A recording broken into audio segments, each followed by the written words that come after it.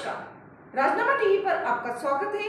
मैं प्रिया, आपके साथ। स्वीडन में ईद अल अजहा के मौके पर बुधवार को स्टॉकहोम की एक मस्जिद के बाहर एक शख्स ने कुरान जलाकर प्रदर्शन किया। इसके लिए उसे स्वीडिश सरकार से परमिशन मिली थी।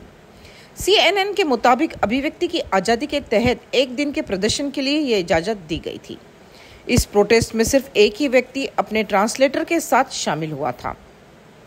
राइटर्स के मुताबिक प्रदर्शन कर रहे शख्स ने कुरान के कुछ पन्नों को फाड़कर उसमें आग लगा दी।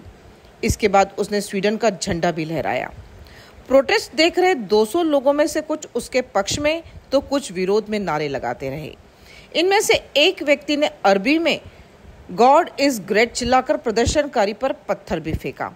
इसके बाद पुलिस ने उसे हिरासत में ले लिया। स्वीडन में कुरान जलाने पर तुर्की ने विरोध जताया है। तुर्की के विदेश मंत्रालय ने इसे जघन्य अपराध बताया है।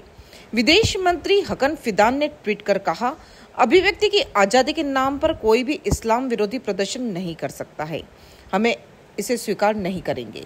अगर कोई देश नाटो में शामिल होकर हमारा साथी बनना चाहता है तो उसे इस्लामोफोबिया फैला रहे आतंकियों को काबू में करना होगा।